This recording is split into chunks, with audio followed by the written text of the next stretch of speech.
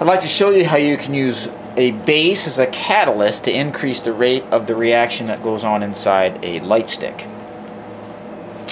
When a light stick is snapped, there are chemicals inside the light stick that are mixed and when those chemicals are mixed they undergo a chemical reaction.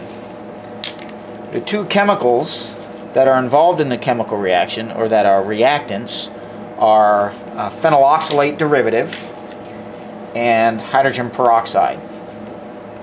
When those two reactants combine, they chemically react and they produce carbon dioxide gas.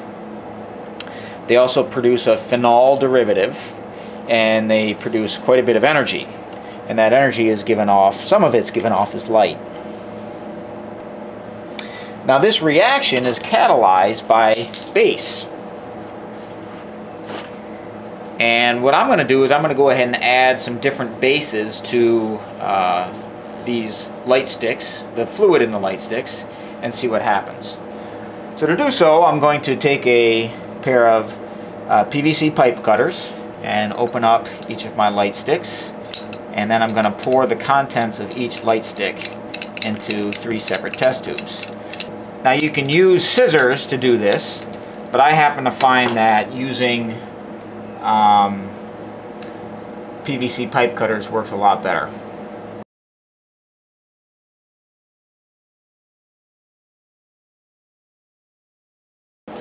Okay, so to this test tube over here on the left, I'm going to make no further additions. That's going to be our control test tube. To our middle test tube here, I'm going to add a base that's easily found around the home. Baking soda. Also known as sodium bicarbonate. Well, sodium bicarbonate is going to be the chemical name of baking soda. I'm going to go ahead and add some baking soda from a scoopula and see what happens. Give that a swirl.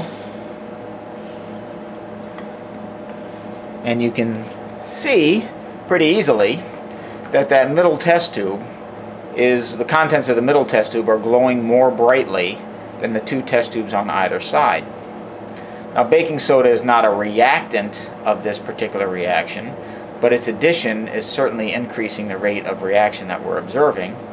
And so we can say that uh, baking soda, or a base, it's actually the base that's doing it. The base is catalyzing the reaction. It's increasing the rate of the reaction simply by being, uh, by being added. Now to the test tube on the right, I'm going to add some sodium salicylate. Sodium salicylate is also a base. This one's not easily found around the home. I had to purchase my sodium salicylate from a science supply house. I'm going to go ahead and add this to the test tube on the right. Swirl. And we see a much faster reaction is going uh, looking very bright. I also see some foaming that's occurring. That foaming is indicative of the production of carbon dioxide. Remember that carbon dioxide is a product, and so if we're producing a lot of CO2, that's going to be producing a lot of gas, and so you're probably going to see some foam, some bubbles being produced very quickly. You might also notice that that test tube on the right is now no longer glowing.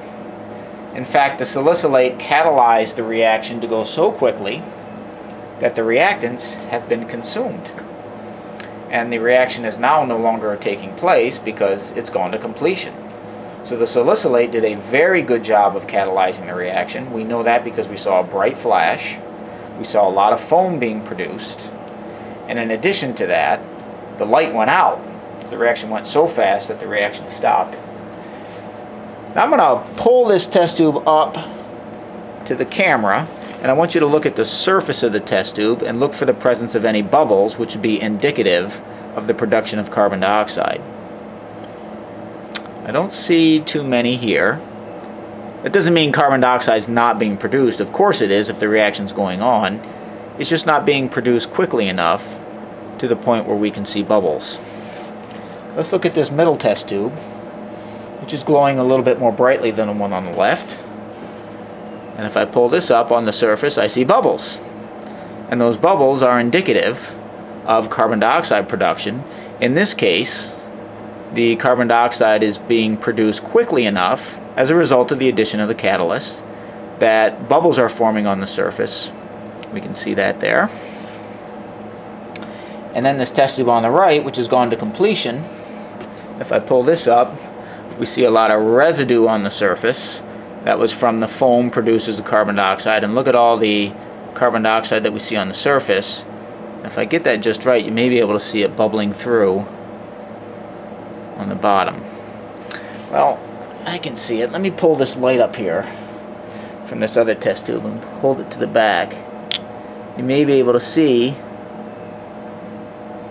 yep, you can see little pieces of the salicylate rising to the surface and then falling back down. What's happening there is carbon dioxide bubbles are adhering to flecks of the sodium salicylate, causing them to be less dense. They rise to the surface where the um, carbon dioxide bubbles pop, and then the um, sodium salicylate pieces will uh, sink back down after the carbon dioxide that's adhered to them is released and the density of the salicylate uh, causes it to fall back down. But you can certainly see there's a ton of carbon dioxide that has been produced in this particular test tube.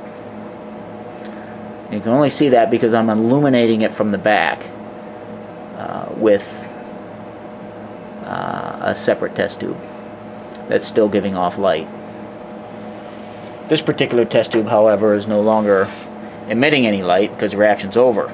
The catalyst worked so well, the salicylate catalyst worked so well, that the reaction just went to completion. And we're now no longer getting any light from it. I think the salicylate catalyst works better uh, because salicylate dissolves better in the light stick fluid than, uh, than bicarbonate. I'm not sure about that, but that, that's my guess.